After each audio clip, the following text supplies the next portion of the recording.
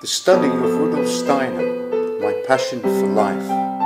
the love of nature and animals brought me here, into the vineyards behind my heavy horses, working together, side by side, mutually